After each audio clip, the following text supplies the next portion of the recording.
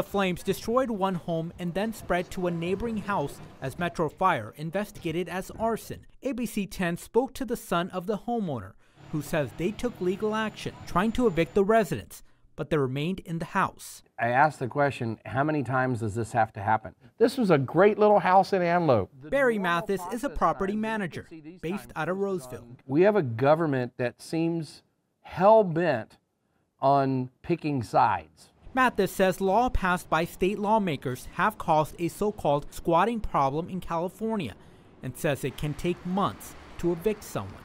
While squatting is illegal, Mathis says squatters take up vacant homes and refuse to leave. The system became vulnerable during COVID-19, where the laws protecting tenants from being evicted delayed the process to evict squatters. But the separate issue is once you go into that eviction process, it would work okay as long as the courts were able to keep up. Mathis says the courts are underfunded.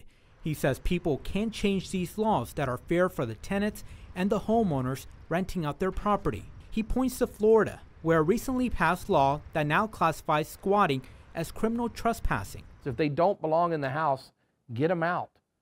You know, if they have a lease that's written on a Christmas card, that's probably not legit. And I think the average street cop can figure that out. And Mathis believes this will make some people think twice about whether they want to invest in a second home to rent, guys. Well, talk about a nightmare situation, Gars Paul. What can people do to protect themselves? Yeah, so Mathis says there's three things. The first one, make sure you check up on your property regularly.